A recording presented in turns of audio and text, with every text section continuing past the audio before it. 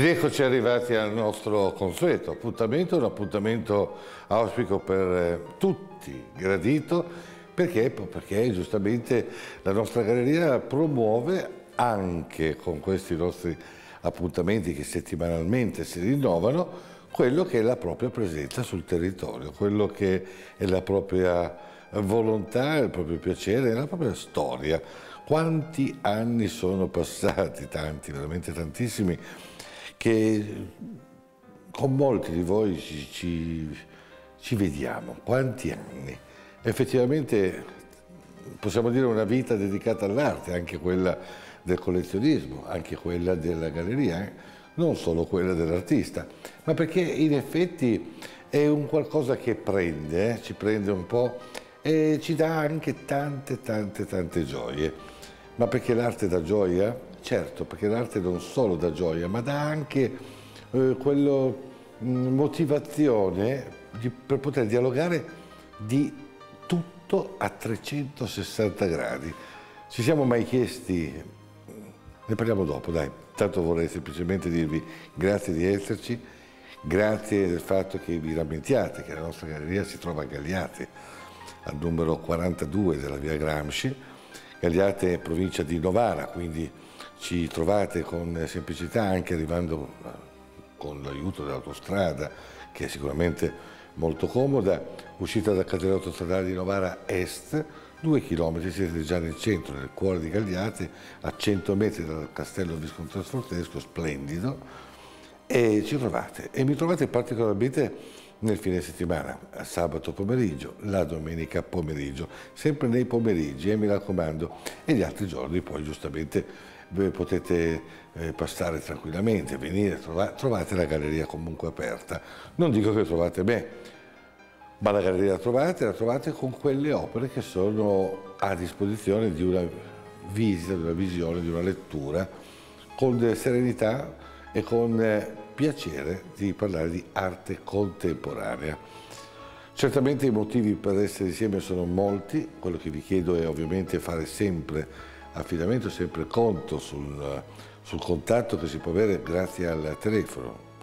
0321 864068, il numero di telefono a cui potete accedere per contattarci immediatamente.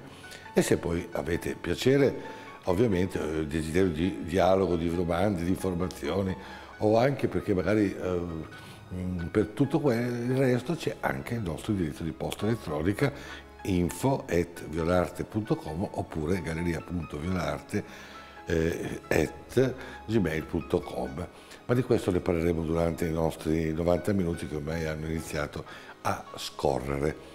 Per cui credo che la cosa più interessante adesso da fare sia iniziare con questa carrellata delle opere che abbiamo scelto e selezionato, quindi i motivi per cui vi chiedo di essere legati a noi per tutto il nostro tempo. E da cosa cominciamo? Cominciamo da un artista certamente di grande importanza, di grande levatura, di grande dialogo. Cominciamo con l'opera di Omar Ronda.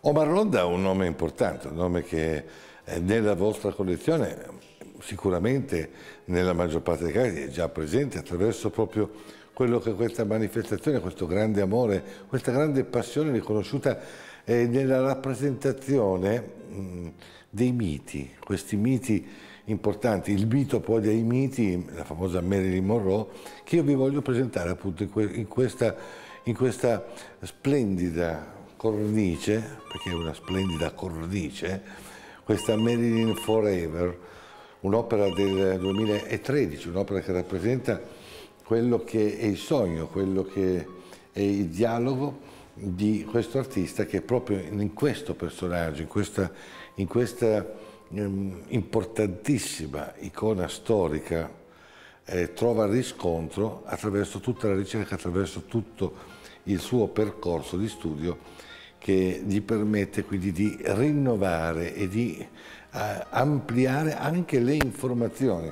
Infatti sono venuto in possesso anche di questo splendido catalogo Dedicato proprio a Marilyn Monroe, da, realizzato da Omar Ronda, dove addirittura le poesie scritte di Marilyn Monroe e di Pierpaolo Pasolini. certamente stiamo parlando di qualcosa di interessante. Qui parliamo di materie plastiche, 50 cm per 50 la dimensione, e come consuetudine lo studio delle materie permette a Omar Ronda di eh, essere presente in maniera assoluta addirittura in quello che è il contorno, eh?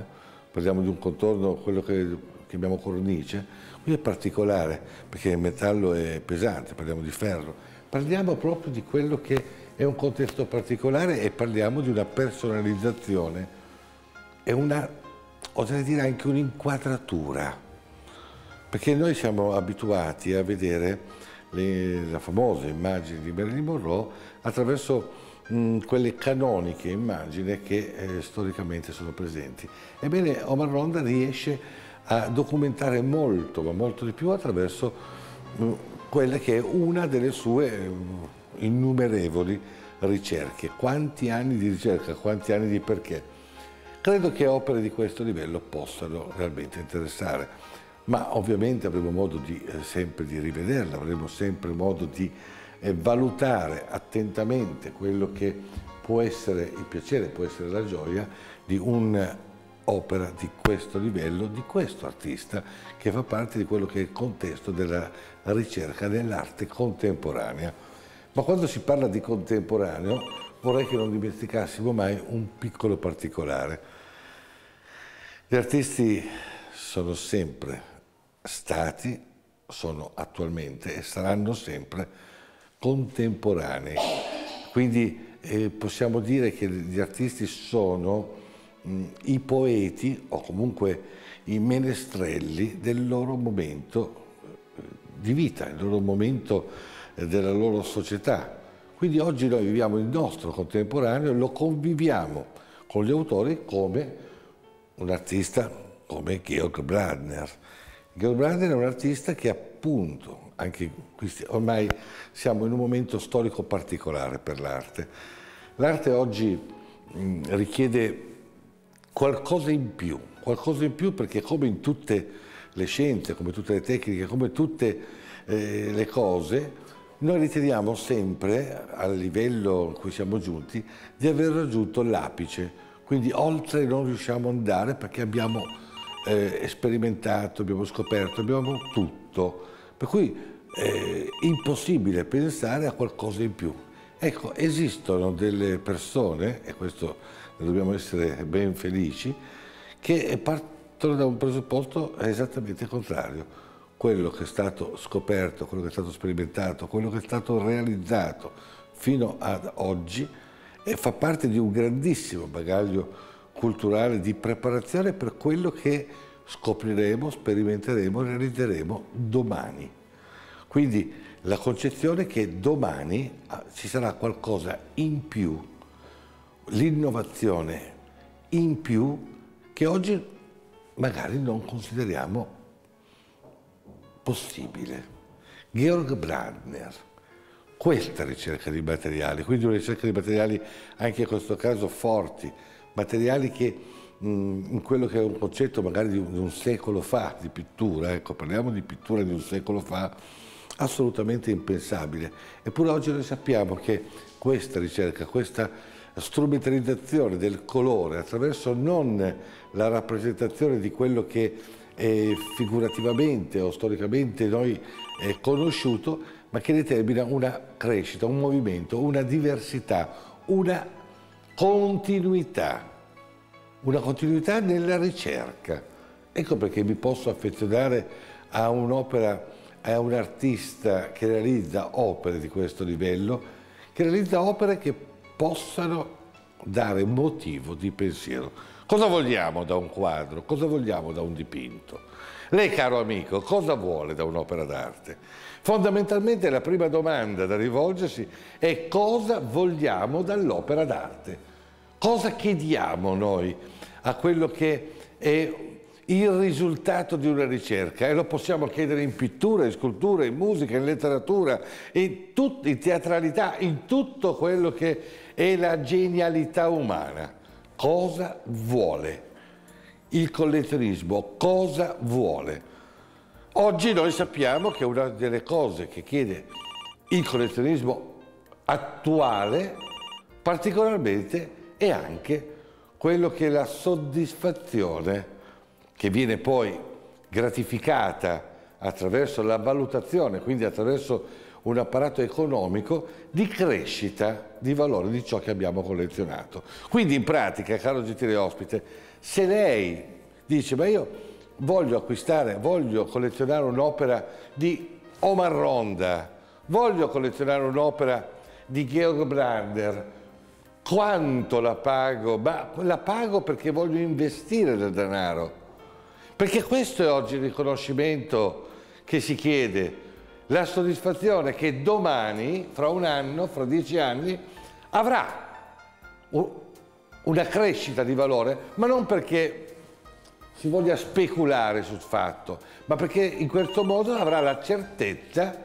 di aver ben scelto, di aver ben selezionato quello che è un apprendimento culturale che verrà valutato di più, ma che non rientra nei canoni della commercializzazione per quanto concerne il collezionismo. Spetta alla galleria, spetta all'operatore quello di dimostrare, quello di ricercare, quello di ben valutare ciò che si sta proponendo. Quindi non affidandosi, non affidandoci a quello che possono essere gli strumenti pubblicitari atti a valutare, ma quello che sono anche le reali informazioni culturali, storiche, che permettono di poter quasi, eh, scusate, eh, scusate il termine ma quasi bisogna dirlo, quasi garantire che se c'è cultura, se c'è valore, se c'è realtà, domani è impensabile che non possa essere gratificato con una valorizzazione maggiore. È inutile dire ma io oggi non voglio nell'arte contemporanea proporre il dipinto che... perché ho sentito alcune volte dire ma non vi voglio proporre il dipinto con l'alberello o con la casetta. Nulla di più errato, nulla di più sbagliato. Il dipinto con l'alberello e con la casetta, realizzati in certi momenti della storia dell'arte della, della vita, realizzati in quei momenti, rappresentavano un punto importante di quel momento culturale. Certo, oggi noi ci attendiamo che quei dipinti, che quelle opere abbiano raggiunto il livello di realtà, che abbiano raggiunto un livello importante per gratificare la loro storia. Ma avete acquistato il dipinto con il cosiddetto alberello, con la cosiddetta casetta, perché eravate spinti sotto una pubblicità che a questo punto si potrebbe definire ingannevole o perché avete, eh, avete nella vostra collezione quella tipologia di dipinti che appartiene a una realtà culturale e che per cui nulla e nessuno potrà dire avete sbagliato. Perché caro amico, non, lei non sbaglia. Primo quando mette nella sua proprietà, nel suo possesso, nella sua soddisfazione qualcosa che le piace e in quel qualcosa, in quei tanti qualcosa che fanno parte della sua vita, se segue un appuntamento come il nostro, non può mancare l'opera d'arte, il dipinto. Per cui, in primis, Lucio del Petto, per esempio, è un'opera che sicuramente merita motivazione di essere seguita. In primis, che sia nella sua soddisfazione emotiva e soggettiva. Questa è la prima realtà che io mi permetto di proporre e di mh, insistere. Secondo, parliamo di autori che sono la storia, ma la storia lo sono anche gli autori giovani, moderni, attuali. Io non dico lo studente, non dico l'accademico che sta per laurearsi, che sta studiando, che sta applicandosi a una ricerca, a una possibilità perché il suo sogno è quello di vivere l'arte. Io dico quel giovane che ha già realizzato una sua gavetta, ci ricordiamo il termine gavetta, si usava nel mondo del lavoro, ma nel mondo della vita si usa sempre il termine gavetta. La gavetta vuol dire iniziare a piccoli passi dall'inizio, apprendendo quello che sono le basi di una logica per poter poi crescere attraverso le conoscenze che man mano vengono a realizzarsi e attraverso anche le competenze che poi ognuno di noi può acquisire se ne è eh, giustamente ben motivato e ben volontariamente insieme. Ma quando si parla di luce del petto, per esempio, non stiamo parlando di un giovane artista, stiamo parlando di un uomo giovane, ancora in età giovane, ancora di bella presenza, artista, storico. Signori miei, voi mi direte, ma come storico? È Lucio del Petto, non è un nome che ieri mattina non conosceva nessuno, ma non l'avete conosciuto per la pubblicità, l'avete conosciuto per la sua storicizzazione.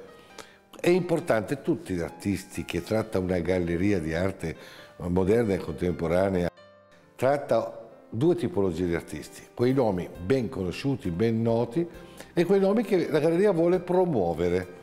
Certo che sui nomi che la galleria vuole promuovere la richiesta è una, non fate affidamento su, sul chiacchierio, fate un po' di affidamento anche sulla vostra conoscenza e sul vostro sentimento.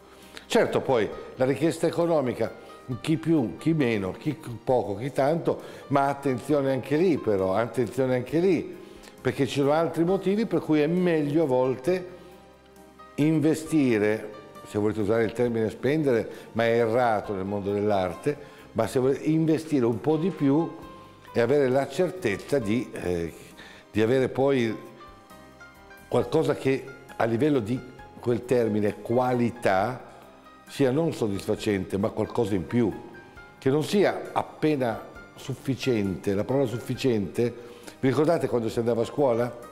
Sufficiente Sufficiente vuol dire che appena appena ce l'hai fatta, sei andata bene, non ti hanno bocciato, per cui va bene, non ripetiranno, vai avanti, ma, ma non esci fuori dal mazzo, sei lì, non, non, non ti distingui, non sei nessuno. Allora non è, la qualità non può essere sufficiente, la qualità deve essere adeguata. E certo che per stabilire cosa è adeguato, quale qualità è superlativa piuttosto che un'altra e ci vuole anche un momentino di, un momentino di applicazione, credetemi, non è facile. Sapete quante telefonate ricevo e di questo me ne dispiaccio veramente molto, dove mi si chiede la richiesta economica su un dipinto di un artista in virtù dell'anno, della tecnica e della dimensione. Lo sappiamo, signori miei, che in quello stesso anno, con quella stessa tecnica, con quella stessa dimensione, abbiamo una serie di valori talmente incredibili, distanti fra loro, perché entra in gioco l'unico, l'unico metro di paragone reale, si chiama qualità. Allora, o avete fiducia del vostro gallerista, quindi il gallerista di fiducia che come il gioielliere, come, un, come il medico, come un professionista vi sa ben consigliare e gode della vostra fiducia o dovete avere voi la grande conoscenza, la grande competenza. Non c'è un qualcosa di diverso e non chiedete al professionista di favorirvi gratuitamente. No, vi deve favorire con una giusta remunerazione perché vi fa fare anche degli ottimi affari, delle ottime opportunità, ve le propone, ma altrimenti sarebbe mh, denigratorio, sarebbe di poco conto. Certo, adesso vorrei proporvi un'opera, o meglio due opere, di Bernard Obertin. Bernard Obertin abbiamo qui opere del 1970, dice ma le hai anche dell'80, del 90, del 2000, eh, in pratica non c'è il problema di avere le opere, il problema è di avere opere che hanno e che abbiano un significato importante nella loro realtà. Qui parliamo del 1970. Cosa vi devo dire di Bernardo Berten, o meglio di, delle opere, questi chiodi su legno eh, in monocromia rossa, con due dimensioni ben distanti, ben diverse fra loro? Eccone una E quindi abbiamo l'altra splendida, la nostra regia, le nostre camere mi riescono sicuramente, a, e quindi 30 per 30, quelle che abbiamo eh, più grande abbiamo detto, e 20 per 20. E poi non ve l'abbiamo anche messa a parete, però sarebbe possibile, abbiamo anche 40 per 40, quindi abbiamo la crescita. Certo, fra una e l'altra opera che hanno quasi la stessa qualità. Ecco, direte ma come? Sono chiodi sul legno? Ah, sono identiche, hanno lo stesso parametro, hanno la stessa combinazione? No, cari signori, hanno quasi la stessa qualità, ma vi sono delle differenze sostanziali. Riuscite a vederle? Riuscite a leggerle? Riuscite a comprendermi che allora la richiesta economica, che è sicuramente interessante, guarda, ve lo voglio anche dire, normalmente non le dico in, in televisione perché, però vorrei anche un pochettino svegliare un vostro interesse, svegliare l'opportunità che vi si crea. Adesso, cari gentili signori, caro amico, se mi telefona 0321864068 può fare una cosa, dire mi interessa quell'opera di Oberten. Perché hai detto una cifra talmente interessante per un'opera così storica, così di quella qualità, di quella levatura, di quella importanza, e la cosa mi intriga perché io sto cercando, lei sta cercando un'opera di Bernardo Berten? E certo, sto cercando un'opera di Berten, ma non voglio un'opera minore, non voglio un'opera per avere la firma, seppur importante, di questo artista. Io voglio un'opera che parli e abbia il profumo di quegli anni, di quel periodo importante. Allora stiamo parlando di quel Bernardo Berten di quel Bernardo Bertè che ha fatto, è stato presente, parte di quella storia della grande ricerca e allora abbiamo un motivo reale di importanza. E ve lo voglio dire, perché vedete, su quest'opera, su quest'opera, chiedervi i 25.000 euro è una sciocchezza. Chi non vi chiede 25, 26, 24 mila euro? Mettiamola così, vuoi fare un affare? Te ne chiedo 14.000. Mi dirà, caro sentire ospite, ma io ho il mio amico che me ne offre una simile a, a 13, a 12, a 11. Non lo so a quanto, potrebbe anche non interessare a quanto. È lei che deve saper fare i suoi ben attenti calcoli. Le si offre un'opera da una galleria con tutti i requisiti per parlare di Bernardo Bertin nella storia. Le si offre un'altra opportunità per parlare di Bernardo Obertin nella storia. Questa è una realtà. Questo è uno dei motivi per cui i nostri 90 minuti possono assumere un'identità importante, un'identità quasi insostituibile, seppur facenti parte di quello che è il grande contesto della cosiddetta televendita nel mondo dell'arte. Ma quando la televendita nel mondo dell'arte non esisteva, quando si parlava di entrare in una galleria in punta di piedi, quasi a livello museale, quando in pratica non c'era ancora la possibilità nel concetto e nel contesto popolare perché noi parliamo anche di contesto popolare, ne ha parlato la pop art, ne ha parlato creare la possibilità di far sì che l'arte sia non per i pochi eletti, ma che possa essere di tutti, per un motivo molto importante, perché se in un paese una persona sa usare mille parole e, e le altre persone sanno usare cento parole, quelle, tutte le altre saranno succubi di chi sa parlare meglio. Questo succedeva però prima dell'avvento delle televisioni. Ci ricordiamo che prima delle televisioni, specie quelle private, eh, ci ricordiamo eh, come si parlava in Italia? Male. Non c'era neanche la coniugazione dei verbi, non c'erano le congiunzioni, non c'era quasi la, la, la letteratura grazie a questo strumento innovativo. E stiamo parlando del Novecento, non stiamo parlando del Trecento, cari amici, eh? ne, stiamo parlando del Novecento. Non dimentichiamoci che la televisione, la prima emittente televisiva, eh, cos'era, 1956 o 55, adesso non vorrei sbagliare. Comunque, perdonatemi, adesso non, so, non ho così, ho più pratica di parlare di arte che non di... E, e, e prima di allora, allora, cosa succedeva? Eppure tutto questo ha contribuito a permetterci di crescere culturalmente. Ci siamo accorti che crescendo culturalmente siamo diventati anche più civili? Ma se l'arte rende anche più civile, non è che sia solo una gran miglioria indipendentemente da, da ciò che si acquista, da ciò che si colleziona o altro. Oggi, oggi, io sono felicissimo di un fatto Beh, innanzi a un'opera di Fulvio Dotto viene quasi spontaneo parlare di una realtà attuale. Fulvio Dotto cosa ci sta rappresentando in questo dipinto? Fulvio Dotto è un uomo di eh, circa 60 anni, se non vado errando, di età eh, eh, biologica o anagrafica, anagrafica.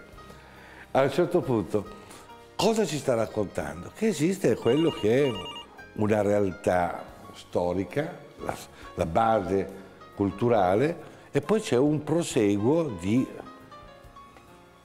eh, futurismo, il nuovo futurismo, perché l'avvento del, del, futurismo nella storia dell'arte è tutta un'altra situazione, e poi la volontà di legare, una volontà di far sì che ci siano dei, dei punti di eh, sutura, di unione, affinché questi mondi culturali potessero non essere così distanti fra loro e non essere così in guerra fra loro, oltretutto, molto importante.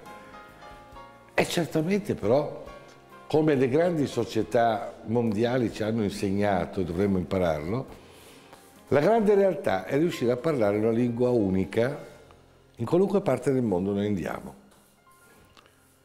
Perché vi sono società che parlando la stessa lingua del mondo riescono a emergere, piuttosto che noi dobbiamo imparare a parlare 8 lingue, 20 lingue, 30 lingue per poter comunicare quando esistono società che con un'unica lingua comunicano con tutto il mondo? Certo, il povero Damenov ci aveva provato con l'esperanto, ma, ma, è stata una cosa interessante, ma entro certi limiti. Certo, Fulvio Dotto ci parla la lingua degli artisti, la lingua della sensibilità, la lingua dell'interiore, la lingua del messaggio che porta avanti attraverso la rappresentazione del proprio momento storico per denunciare i fatti, i misfatti, le gioie, i dolori e quindi rappresentarlo pittoricamente. È atto di testimonianza. Questo è il problema dell'arte. Il problema dell'arte non, non, è quanto costa un dipinto, quanto l'acquisto, ma se lo compro in una casa d'arte piuttosto che un'altra lo pago di meno. Quello è, è spiccio, quella è questione numerica. Allora accatastate opere su opere, dipinti su dipinti, dove poi la qualità sarà tutta posta magari in discussione domani. E che dire poi di autori come Yannis Kunellis, Catrame su cartoncino. Adesso qualcuno, amante magari della pittura del Settecento, mi dirà Catrame su cartoncino me la chiami opera d'arte? No, lo chiamo Yannis Kunellis se Cunellis nel mondo è un artista è perché con quella tecnica, con quella ricerca, così come altri autori, ha espresso in maniera evidente, completa, assoluta quello che è il pensiero reale della propria cultura, della propria realtà.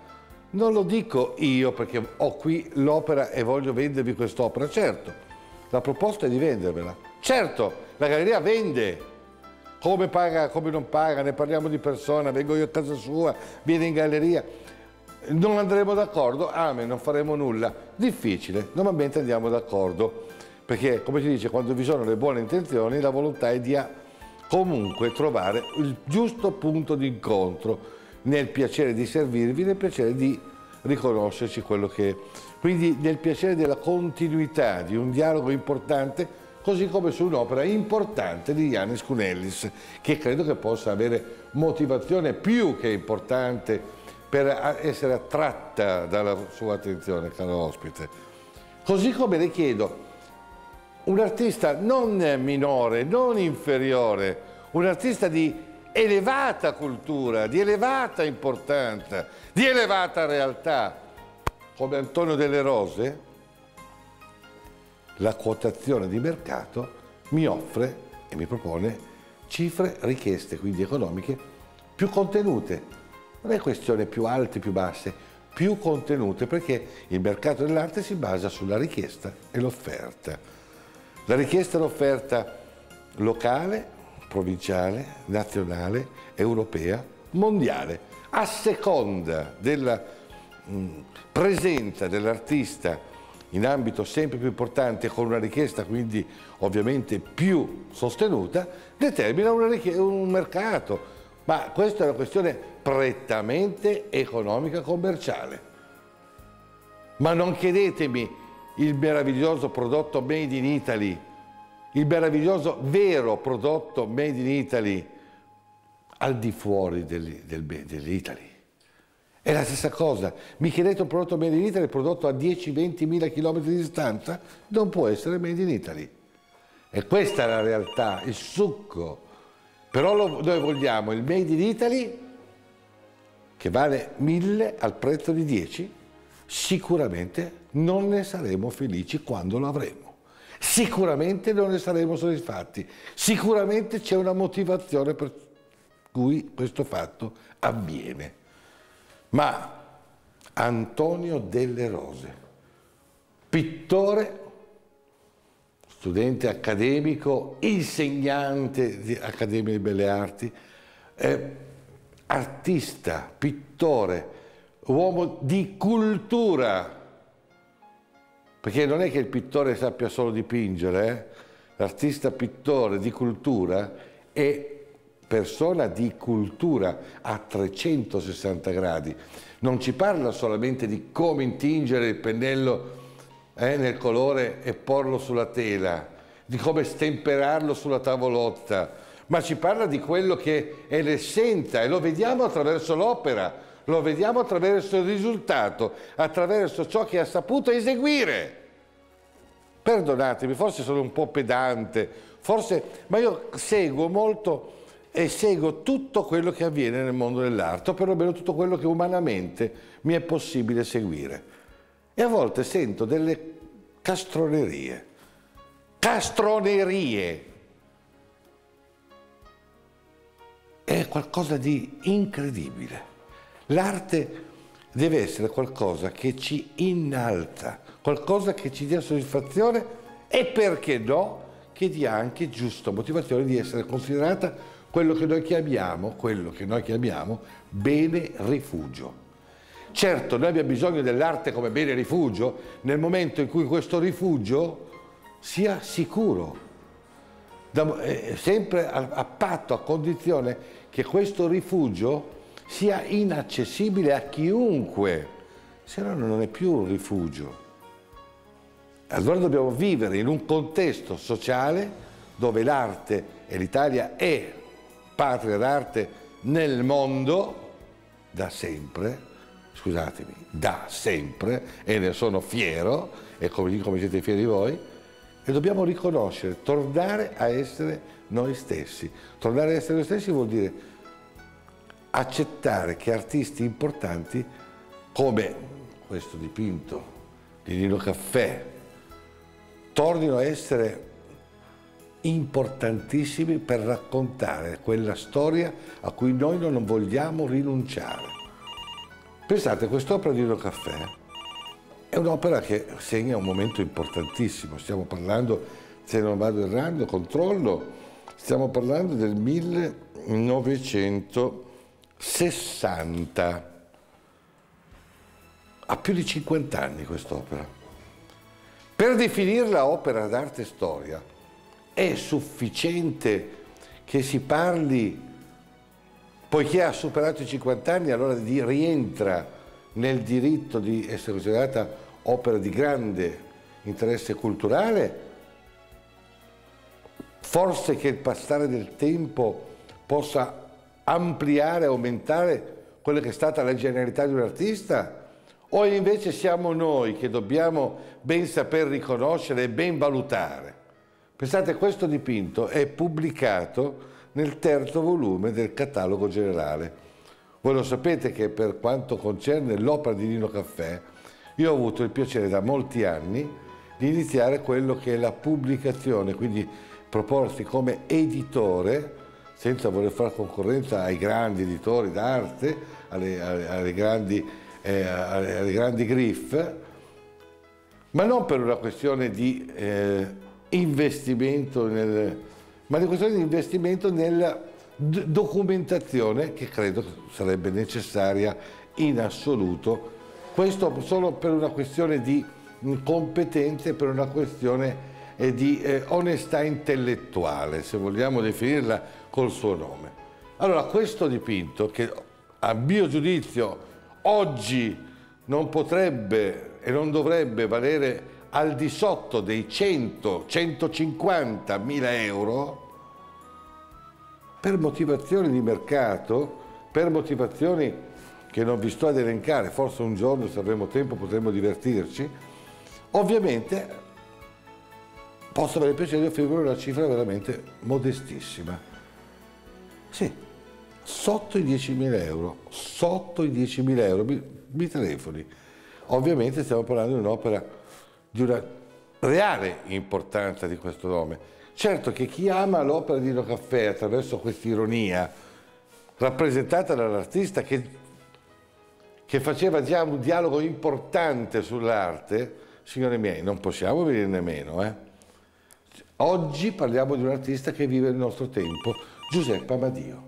Giuseppe Amadio vive il nostro tempo, vive la nostra realtà, l'estroflesso. Il suo estroflesso non è forse un qualcosa di eh, in più rispetto a quello che noi conosciamo, il suo estroflesso. Ma parlare di Giuseppe Badio non è sufficiente adesso una manciata di secondi o di minuti.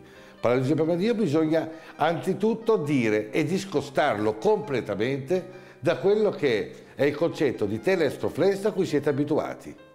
Lo dobbiamo discostare, perché è come, è come voler accostare i pittori, dal momento che dipingono ad olio su tela, allora li dobbiamo accostare tutti. No, c'è chi ha fatto grandi tele estroflesse, onore al merito per, per i grandi artisti, per, per, i minori, per i maggiori, e c'è Giuseppe Amadio. Punto. E sono situazioni diverse. Non esiste il numero 1, il numero 2, il numero 3, il numero 4, esistono i nomi, la nomenclatura, esiste l'artista Giuseppe Amadio. Ne volete sapere di più? Sentiamoci, vediamoci, oppure andiamo nelle mostre internazionali che l'artista realizza dove chissà per quale motivo, gentili ospiti, eh, dove nel mondo Giuseppe Amadio ringraziano del fatto che esista, ma lo ringraziamo anche in Italia, eh? lo ringraziamo anche noi, così come tra ringraziare e quindi non ringraziare, parlare di, arte, eh, di artisti maledetti, Mario Schifano, guarda questi gigli d'acqua gigli d'acqua o fiori d'acqua, fior di loto.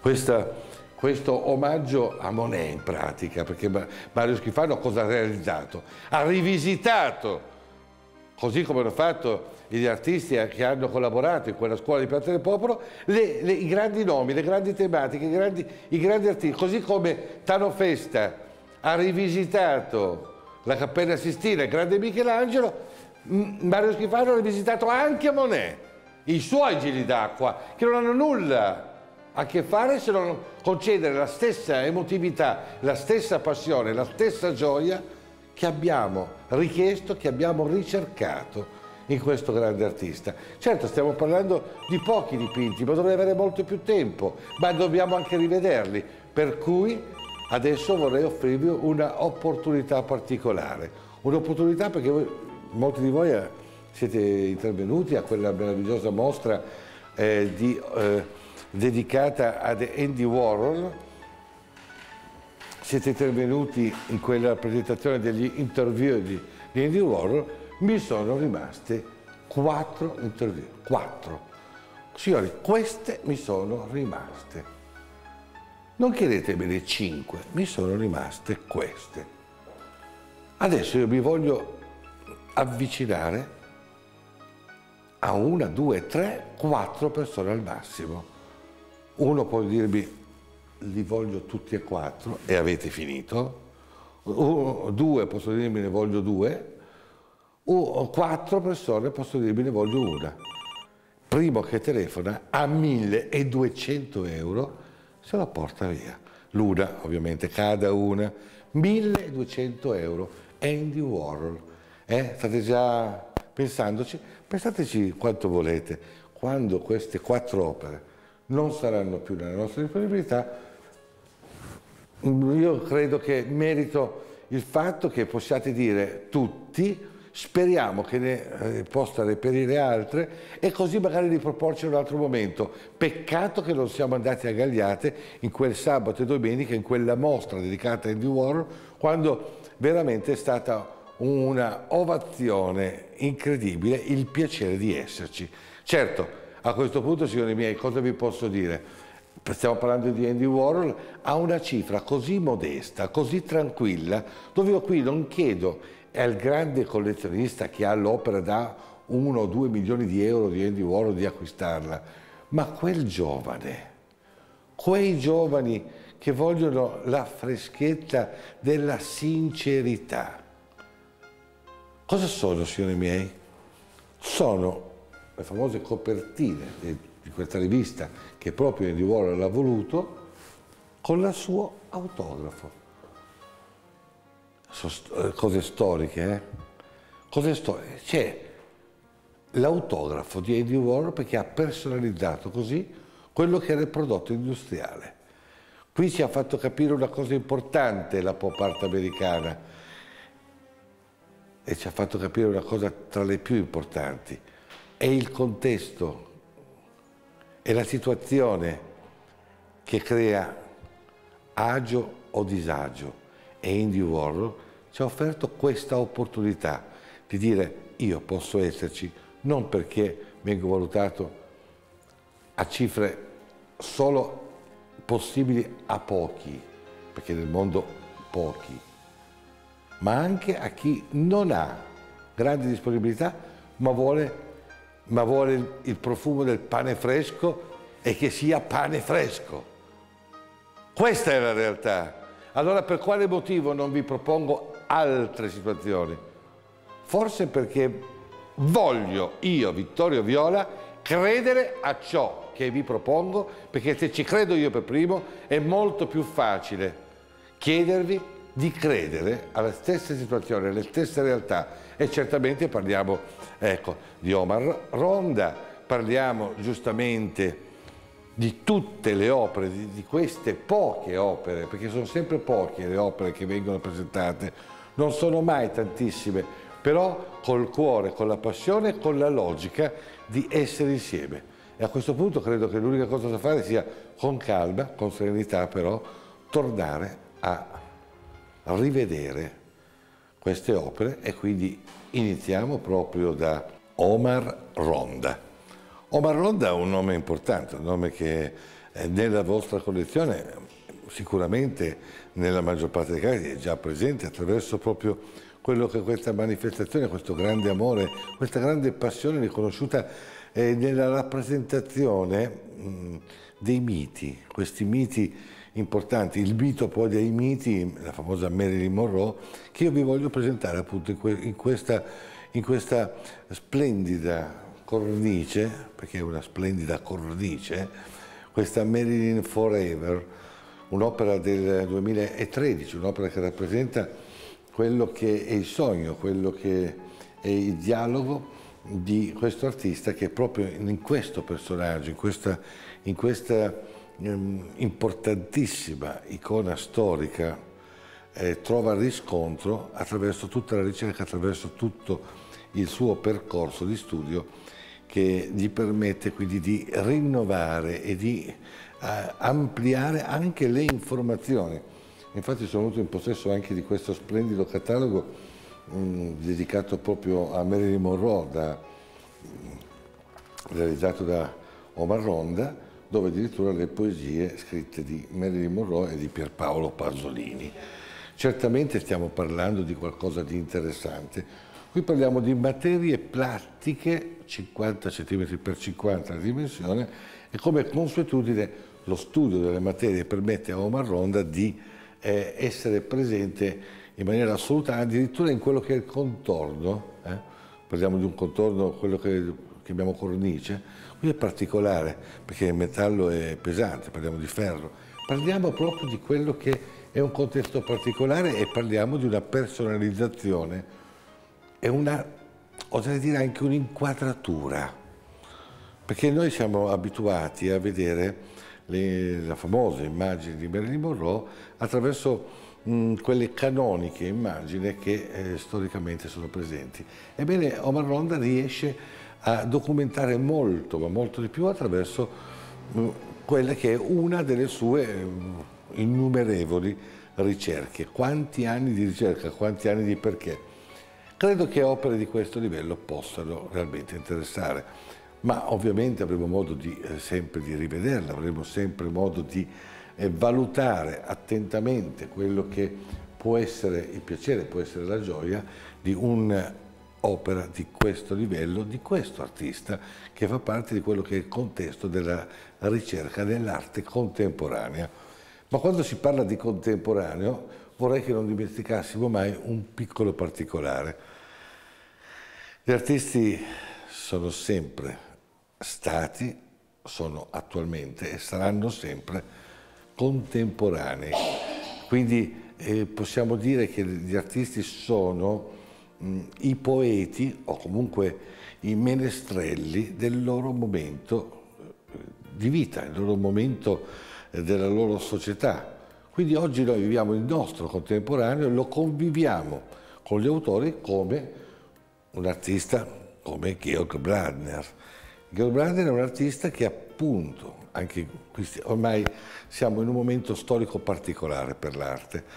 L'arte oggi mh, richiede qualcosa in più, qualcosa in più perché come in tutte le scienze, come tutte le tecniche, come tutte eh, le cose, noi riteniamo sempre, al livello in cui siamo giunti, di aver raggiunto l'apice, quindi oltre non riusciamo ad andare perché abbiamo eh, sperimentato, abbiamo scoperto, abbiamo tutto, per cui è eh, impossibile pensare a qualcosa in più. Ecco, esistono delle persone, e questo dobbiamo essere ben felici, che partono da un presupposto esattamente contrario quello che è stato scoperto, quello che è stato sperimentato, quello che è stato realizzato fino ad oggi e fa parte di un grandissimo bagaglio culturale di preparazione per quello che scopriremo, sperimenteremo, realizzeremo domani. Quindi la concezione che domani ah, ci sarà qualcosa in più, l'innovazione in più che oggi magari non consideriamo possibile. Georg Brandner, questa ricerca di materiali, quindi una ricerca di materiali anche in questo caso forti, materiali che mh, in quello che è un concetto magari di un, secolo fa di pittura, ecco parliamo di pittura di un secolo fa, assolutamente impensabile. Eppure oggi noi sappiamo che questa ricerca, questa strumentalizzazione del colore attraverso non la rappresentazione di quello che eh, figurativamente o storicamente noi eh, conosciuto, ma che determina una crescita, un movimento, una diversità, una continuità, una continuità nella ricerca. Ecco perché mi posso affezionare a un'opera, a un artista che realizza opere di questo livello, che realizza opere che possano dare motivo di pensiero. Cosa vogliamo da un quadro? Cosa vogliamo da un dipinto? Lei, caro amico, cosa vuole da un'opera d'arte? Fondamentalmente la prima domanda da rivolgersi è cosa vogliamo dall'opera d'arte? Cosa chiediamo noi a quello che è il risultato di una ricerca e lo possiamo chiedere in pittura, in scultura, in musica, in letteratura, in, tut, in teatralità, in tutto quello che è la genialità umana. Cosa vuole? Il collezionismo cosa vuole? Oggi noi sappiamo che una delle cose che chiede il collezionismo attuale particolarmente è anche quello che è la soddisfazione che viene poi gratificata attraverso la valutazione, quindi attraverso un apparato economico di crescita di valore di ciò che abbiamo collezionato. Quindi in pratica, caro gentile ospite, se lei dice ma io voglio acquistare, voglio collezionare un'opera di Omar Ronda, voglio collezionare un'opera di Georg Brander, quanto la pago? Ma la pago perché voglio investire del denaro. Perché questo è oggi il riconoscimento che si chiede, la soddisfazione che domani, fra un anno, fra dieci anni, avrà una crescita di valore, ma non perché si voglia speculare sul fatto, ma perché in questo modo avrà la certezza di aver ben scelto, di aver ben selezionato quello che è un apprendimento culturale che verrà valutato di più, ma che non rientra nei canoni della commercializzazione per quanto concerne il collezionismo. Spetta alla galleria, spetta all'operatore quello di dimostrare, quello di ricercare, quello di ben valutare ciò che si sta proponendo. Quindi non affidandosi, non affidandoci a quello che possono essere gli strumenti pubblicitari atti a valutare, ma quello che sono anche le reali informazioni culturali, storiche, che permettono di poter quasi, eh, scusate, eh, scusate il termine ma quasi bisogna dirlo, quasi garantire che se c'è cultura, se c'è valore, se c'è realtà, domani è impensabile che non possa essere gratificato con una valorizzazione maggiore. È inutile dire ma io oggi non voglio nell'arte contemporanea proporre il dipinto che... perché ho sentito alcune volte dire ma non vi voglio proporre il dipinto con l'alberello o con la casetta. Nulla di più errato, nulla di più sbagliato. Il dipinto con l'alberello e con la casetta, realizzati in certi momenti della storia dell'arte, della, della vita, realizzati in quei momenti, rappresentavano un punto importante di quel momento culturale. Certo, oggi noi ci attendiamo che quei dipinti, che quelle opere abbiano raggiunto il livello di realtà, che abbiano raggiunto un livello importante per gratificare la loro storia. Ma avete acquistato il dipinto con il cosiddetto alberello, con la cosiddetta casetta, perché eravate spinti sotto una pubblicità che a questo punto si potrebbe definire ingannevole o perché avete, eh, avete nella vostra collezione quella tipologia di dipinti che appartiene a una realtà culturale e che per cui nulla e nessuno potrà dire avete sbagliato. Perché caro amico, non, lei non sbaglia. Primo quando mette nella sua proprietà, nel suo possesso, nella sua soddisfazione qualcosa che le piace e in quel qualcosa, in quei tanti qualcosa che fanno parte della sua vita, se segue un appuntamento come il nostro, non può mancare l'opera d'arte, il dipinto. Per cui, in primis, Lucio del Petto, per esempio, è un'opera che sicuramente merita motivazione di essere seguita. In primis, che sia nella sua soddisfazione emotiva e soggettiva.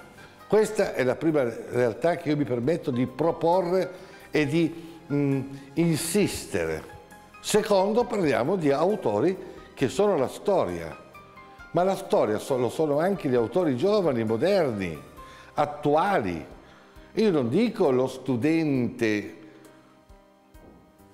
non dico l'accademico che sta per laurearsi, che sta studiando, che sta applicandosi a una ricerca, a una possibilità perché il suo sogno è quello di vivere l'arte.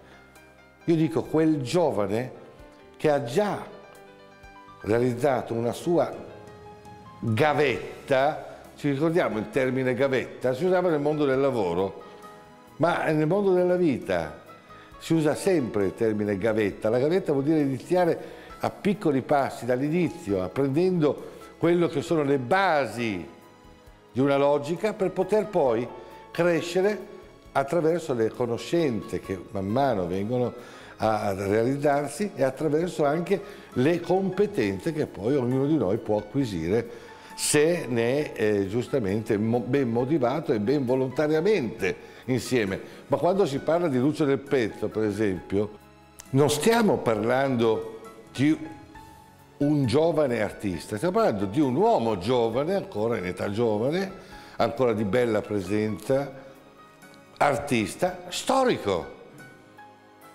Signori miei, voi mi direte, ma come storico? È Lucio del Petto, non è un nome che ieri mattina non conosceva nessuno, ma non l'avete conosciuto per la pubblicità, l'avete conosciuto per la sua storicizzazione.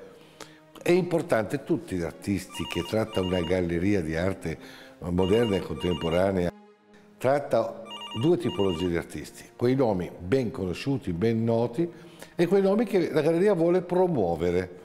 Certo che sui nomi che la galleria vuole promuovere la richiesta è una, non fate affidamento su, sul chiacchierio, fate un po' di affidamento anche sulla vostra conoscenza e sul vostro sentimento.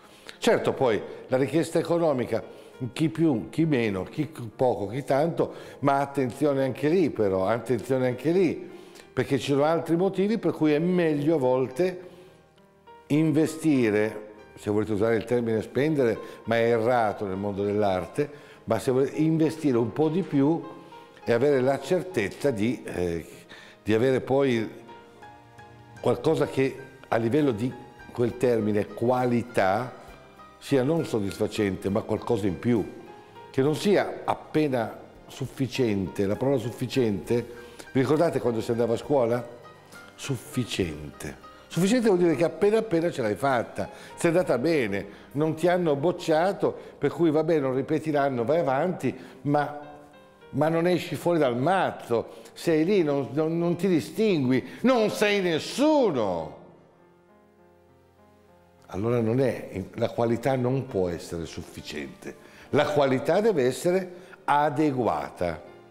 E certo che per stabilire cosa è adeguato, quale qualità è superlativa piuttosto che un'altra e ci vuole anche un momentino di, un momentino di applicazione, credetemi, non è facile. Sapete quante telefonate ricevo e di questo me ne dispiaccio veramente molto, dove mi si chiede la richiesta economica su un dipinto di un artista in virtù dell'anno, della tecnica e della dimensione.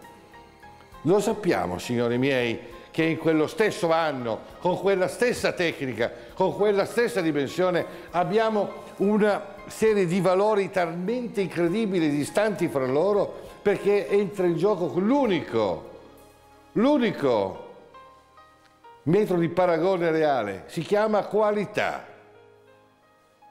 Allora, o avete Fiducia del vostro gallerista, quindi il gallerista di fiducia che come il gioielliere, come, un, come il medico, come un professionista vi sa ben consigliare e gode della vostra fiducia o dovete avere voi la grande conoscenza, la grande competenza. Non c'è un qualcosa di diverso e non chiedete al professionista di favorirvi gratuitamente.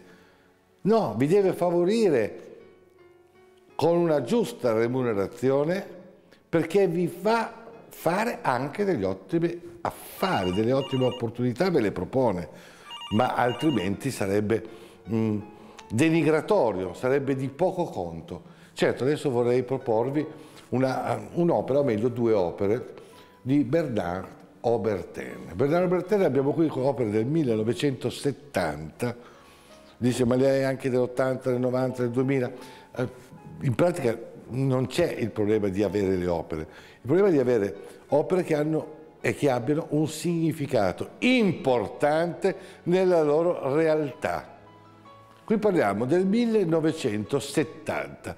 Cosa vi devo dire di Bernardo Berten, o meglio di, delle opere, questi chiodi su legno eh, in monocromia rossa, con due dimensioni ben distanti, ben diverse fra loro. Eccone una e qui abbiamo l'altra, splendida, la nostra regia, le nostre camere me riescono sicuramente, a, e quindi 30 per 30, quelle che abbiamo... Eh, più grande abbiamo detto, e 20 per 20. E poi non ve l'abbiamo anche messa a parete, però sarebbe possibile, abbiamo anche 40 per 40, quindi con la crescita.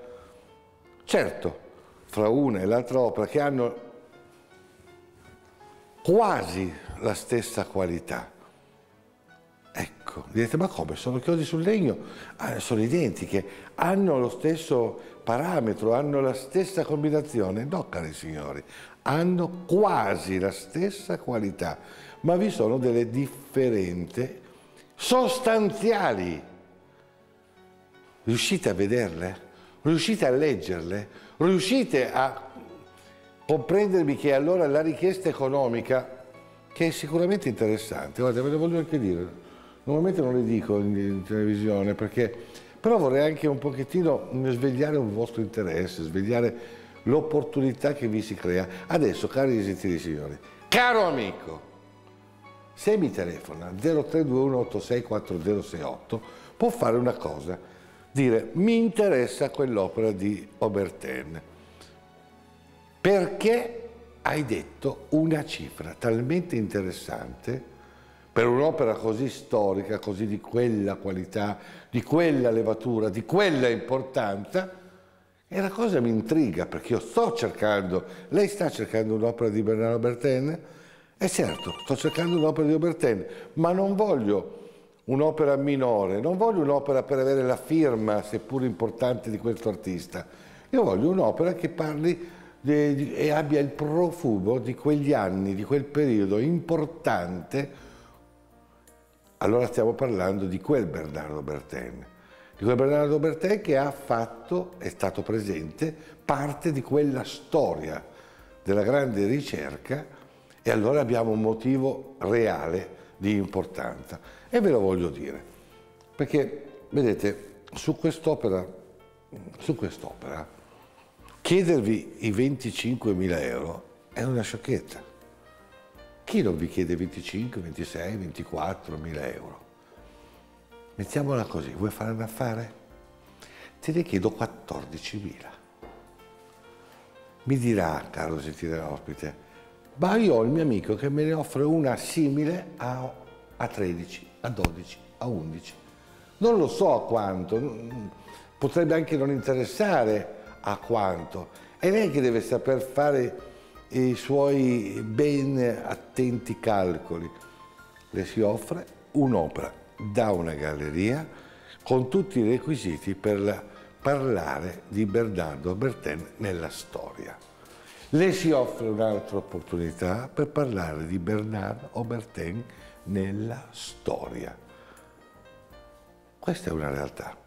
Questo è uno dei motivi per cui i nostri 90 minuti possono assumere un'identità importante, un'identità quasi insostituibile, seppur facenti parte di quello che è il grande contesto della cosiddetta televendita nel mondo dell'arte. Ma quando la televendita nel mondo dell'arte non esisteva, quando si parlava di entrare in una galleria in punta di piedi, quasi a livello museale, quando in pratica non c'era ancora la possibilità nel concetto e nel contesto popolare perché noi parliamo anche di contesto popolare, ne ha parlato la pop art, ne ha parlato creare la possibilità di far sì che l'arte sia non per i pochi eletti, ma che possa essere di tutti, per un motivo molto importante, perché se in un paese una persona sa usare mille parole e, e di altre persone sanno usare cento parole, quelle, tutte le altre saranno succubi di chi sa parlare meglio. Questo succedeva però prima dell'avvento delle televisioni. Ci ricordiamo che prima delle televisioni, specie quelle private, eh, ci ricordiamo eh, come si parlava in Italia? Male. Non c'era neanche la coniugazione dei verbi, non c'erano le congiunzioni, non c'era quasi la, la, la letteratura. Grazie a questo strumento innovativo e stiamo parlando del Novecento, non stiamo parlando del Trecento, cari amici, eh? ne, stiamo parlando del Novecento. Non dimentichiamoci che la televisione, la prima emittente televisiva, eh, cos'era, 1956 o 55, adesso non vorrei sbagliare. Comunque, perdonatemi, adesso non, so, non ho così, ho più pratica di parlare di arte che non di...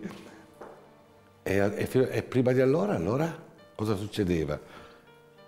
Eppure tutto questo ha contribuito a permetterci di crescere culturalmente. Ci siamo accorti che crescendo culturalmente siamo diventati anche più civili? Ma se l'arte rende anche più civile, non è che sia solo una gran miglioria indipendentemente da, da ciò che si acquista, da ciò che si colleziona o altro, Oggi, oggi, io sono felicissimo di un fatto. Beh, innanzi a un'opera di Fulvio Dotto viene quasi spontaneo parlare di una realtà attuale. Fulvio Dotto cosa ci sta rappresentando in questo dipinto? Fulvio Dotto è un uomo di eh, circa 60 anni, se non vado errando, di età eh, eh, biologica o anagrafica, anagrafica. A un certo punto Cosa ci sta raccontando? Che esiste quello che è una realtà storica, la, la base culturale, e poi c'è un proseguo di eh, futurismo, il nuovo futurismo, perché l'avvento del, del, futurismo nella storia dell'arte è tutta un'altra situazione, e poi una volontà di legare, una volontà di far sì che ci siano dei, dei punti di eh, sutura, di unione, affinché questi mondi culturali potessero non essere così distanti fra loro e non essere così in guerra fra loro, oltretutto, molto importante. E certamente però, come le grandi società mondiali ci hanno insegnato e dovremmo impararlo, la grande realtà è riuscire a parlare una lingua unica in qualunque parte del mondo noi andiamo.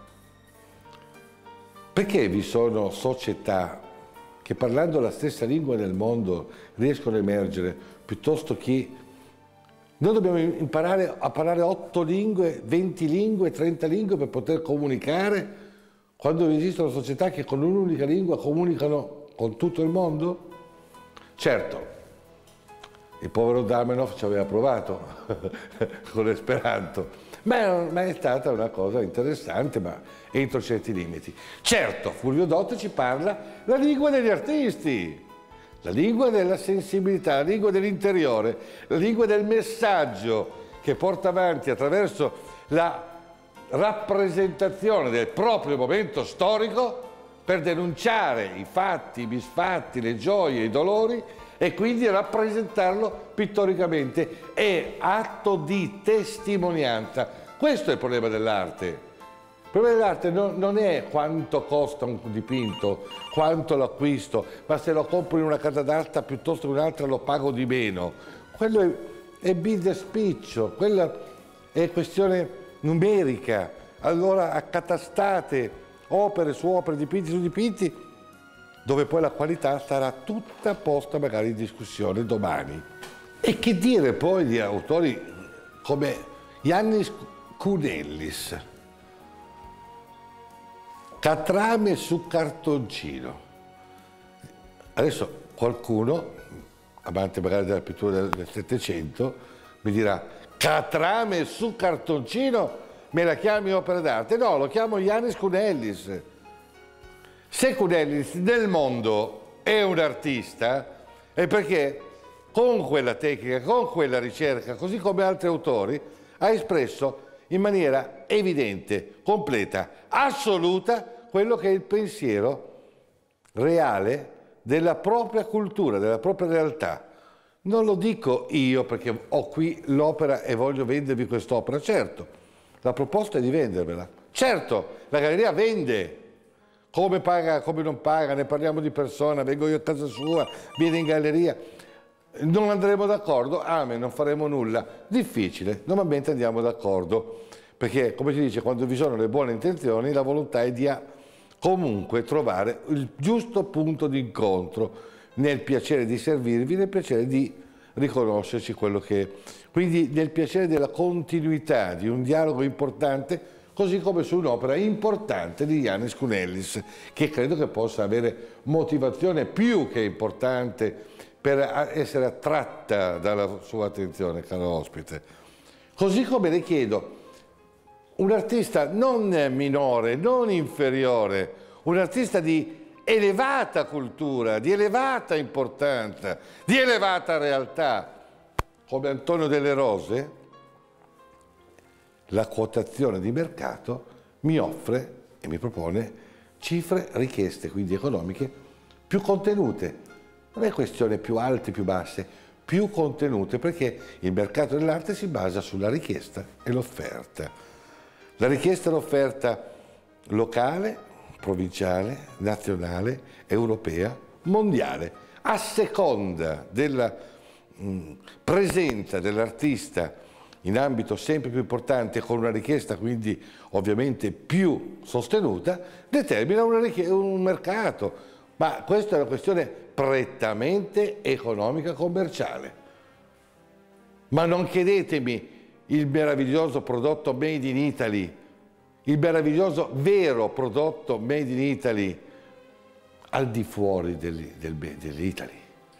È la stessa cosa. Mi chiedete un prodotto made in Italy prodotto a 10-20 mila chilometri di distanza? Non può essere made in Italy. E questa è la realtà, il succo. Però lo, noi vogliamo il made in Italy che vale 1000 al prezzo di 10. Sicuramente non ne saremo felici quando lo avremo sicuramente non ne saremo soddisfatti, sicuramente c'è una motivazione per cui questo fatto avviene. Ma Antonio delle Rose, pittore, studente accademico, insegnante di Accademia di Belle Arti, eh, artista, pittore, uomo di cultura, perché non è che il pittore sappia solo dipingere, eh? l'artista pittore di cultura è persona di cultura a 360 gradi. Non ci parla solamente di come intingere il pennello eh, nel colore e porlo sulla tela, di come stemperarlo sulla tavolotta, ma ci parla di quello che è l'essenza e lo vediamo attraverso l'opera lo vediamo attraverso il risultato, attraverso ciò che ha saputo eseguire. Perdonatemi, forse sono un po' pedante, forse, ma io seguo molto e seguo tutto quello che avviene nel mondo dell'arte, perlomeno tutto quello che umanamente mi è possibile seguire. E a volte sento delle castronerie, castronerie.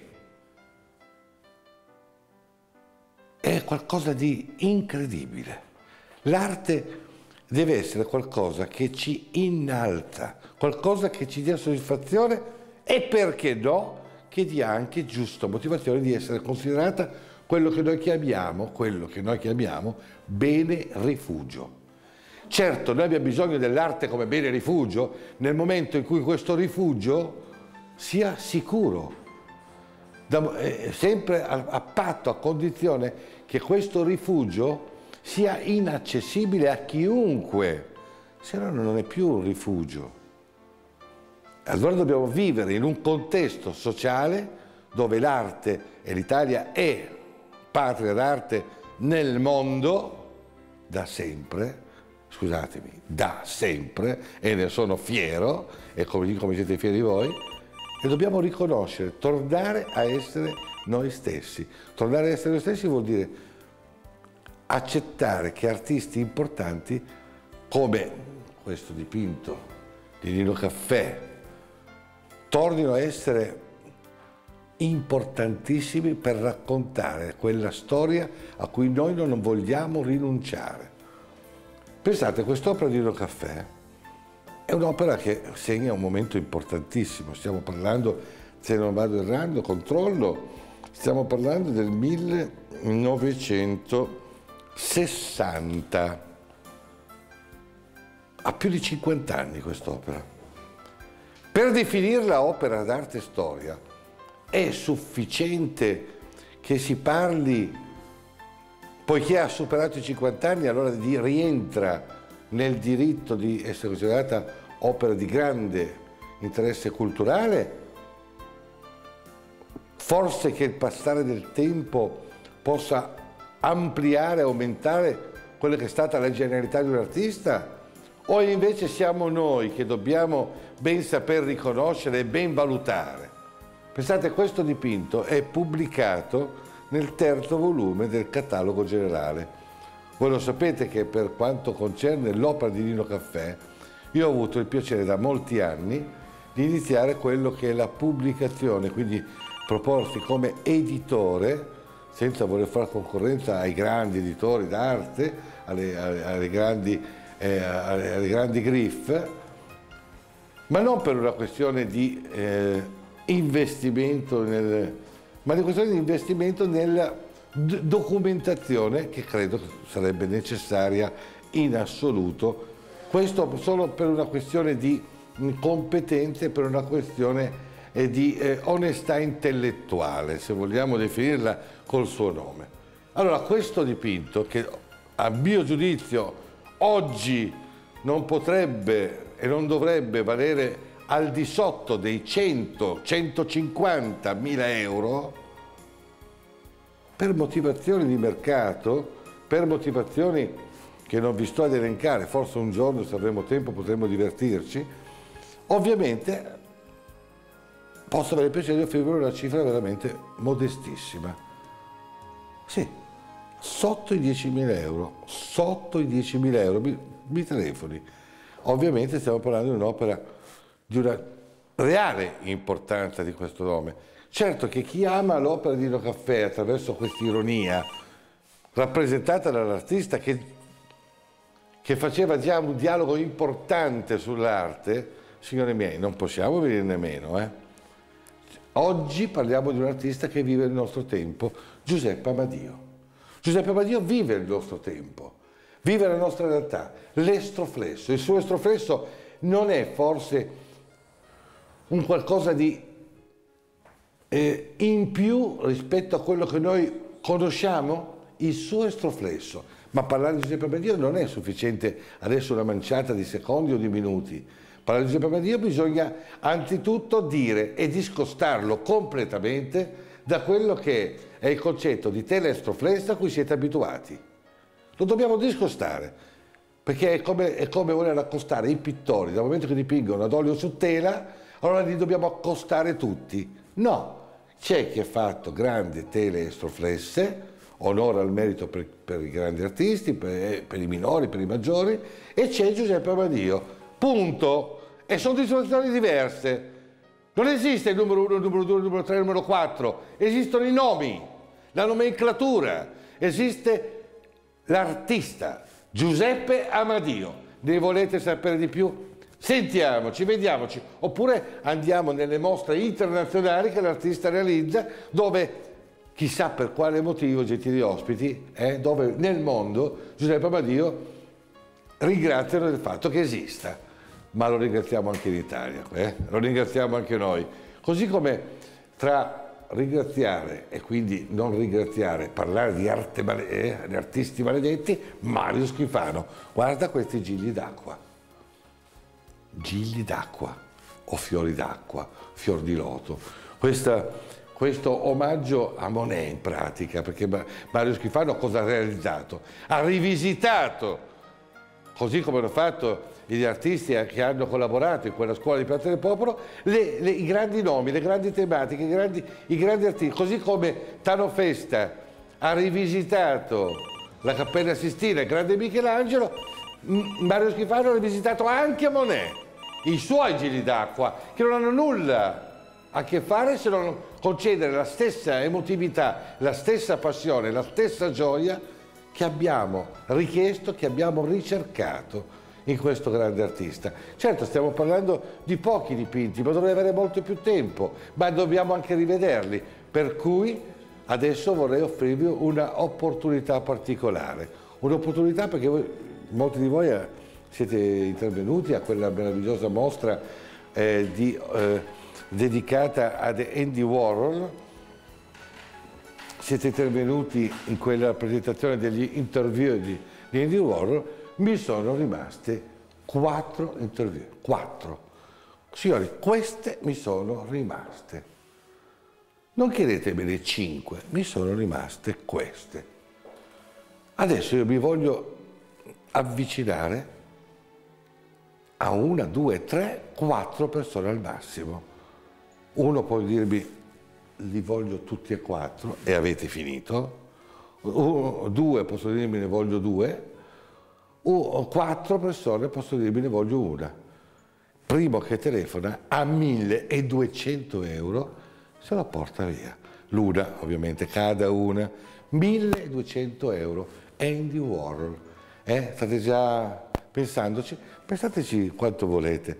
Quando queste quattro opere non saranno più nella nostra disponibilità, io credo che merito il fatto che possiate dire tutti speriamo che ne eh, possa reperire altre e così magari riproporci in un altro momento. Peccato che non siamo andati a Gagliate in quel sabato e domenica, in quella mostra dedicata a Andy Warhol, quando veramente è stata una ovazione incredibile, il piacere di esserci.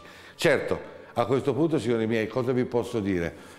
stiamo parlando di Andy Warhol, a una cifra così modesta, così tranquilla, dove io qui non chiedo al grande collezionista che ha l'opera da uno o due milioni di euro di Andy Warhol di acquistarla, ma quel giovane, quei giovani che vogliono la freschezza della sincerità. Cosa sono, signori miei? Sono le famose copertine di questa rivista che proprio Andy Warhol l'ha voluto, con il suo autografo. Eh, cose storiche, eh? Cose storiche. C'è l'autografo di Andy Warhol perché ha personalizzato così quello che era il prodotto industriale. Qui ci ha fatto capire una cosa importante la pop art americana e ci ha fatto capire una cosa tra le più importanti. È il contesto è la situazione che crea agio o disagio e Andy Warhol ci ha offerto questa opportunità di dire io posso esserci non perché vengo valutato a cifre solo possibili a pochi, perché nel mondo pochi, ma anche a chi non ha grande disponibilità ma vuole ma vuole il profumo del pane fresco e che sia pane fresco. Questa è la realtà. Allora per quale motivo non vi propongo altre situazioni? Forse perché voglio io, Vittorio Viola, credere a ciò che vi propongo, perché se ci credo io per primo è molto più facile chiedervi di credere alla stessa situazione, alle stesse realtà e certamente parliamo ecco, di Omar Ronda, parliamo giustamente di tutte le opere, di, di, queste poche opere, perché sono sempre poche le opere che vengono presentate, non sono mai tantissime, però col cuore, con la passione e con la logica di essere insieme. E a questo punto credo che l'unica cosa da fare sia con calma, con serenità però, tornare a rivedere queste opere e quindi iniziamo proprio da Omar Ronda. La prima opera a parete, ma non è la meno o la più importante, è semplicemente la prima che abbiamo posto nella vostra attenzione per poi proseguire con il Brander, per poi del pezzo e, e via via. Ma vorrei adesso perché giustamente il tempo poi diventa tiranno e mi dicono che i minuti ormai sono scarsi, che le opere di cui io non vi ho parlato, queste espressioni d'arte che trovo importanti e vere, possano parlarvi da sole senza le mie chiacchiere. Posso lasciare in mano alla regia questo importante documento, questo importante fardello di responsabilità? Per pochissimo tempo, noi ci ritroviamo fra poco? Grazie. Allora la nostra parola alla regia.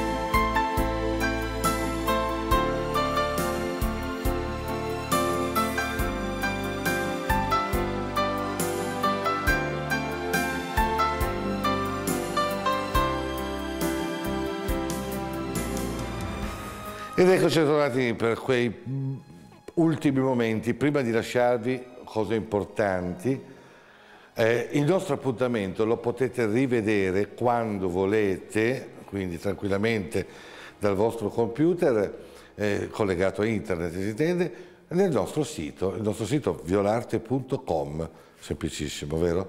Alla voce tv, come, come la regia vi ha comunicato per quel crawl che ha continuato a viaggiare calmo per non farvi strabuzzare gli occhi, eh, questo appuntamento è un appuntamento che è un, il, uno dei miei documenti, per cui è a vostra disposizione sempre, ma non tanto perché magari fra un giorno, un mese, un anno, queste opere potreste ritrovarle, potrebbe anche essere, ma anche perché a volte si vendono, si ricomprano, si vendono, si ricomprano, non si vendono subito, si vendono l'arte è così, il mercato dell'arte è così. Più che altro perché mh, mm, se vi sorgesse il dubbio che io abbia detto un qualcosa, potete ricontrollare e esattamente controllare e controllando potete avere la certezza di ciò che vi ho detto, di ciò che vi ho promesso, di ciò che vi ho consigliato. Io vi prometto di consigliare arte. Poi, collegata anche all'investimento non è male, ma che sia arte, vi aspetto a Gagliate, se no vengo io a casa vostra, telefonatemi, non c'è nessun problema, 0321 864068, eh, denaro, pagamenti o altro, volete vendere voi? Ci mettiamo d'accordo. Signori miei, io devo concludere e devo dirvi grazie, mi raccomando, rivediamoci, perché dobbiamo assolutamente dire non perdiamoci di vista. Ciao.